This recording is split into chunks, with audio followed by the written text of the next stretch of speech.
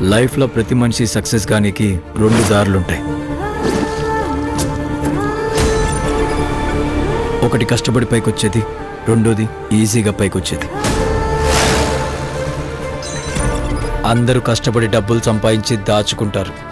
మేం వాటిని దోచుకుంటాం. లేదు లేదు అంటే ఈ లోకం నీకు ఏది ఇవ్వదు.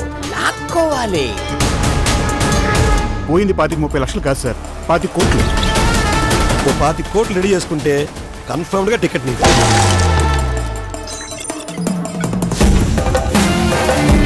వీడికి నేను వస్తానని తెలుస్తా హీ స్టార్టెడ్ హిస్ గేమ్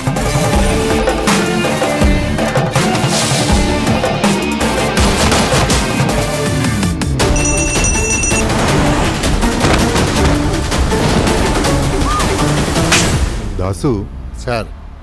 నీకు వలస పక్షుల గురించి తెలుసా దాసు? తెలియదు సార్. ఈ నా కొడుకులు డబ్బు దాయడం కోసం వలస వెళ్ళారు దాసు.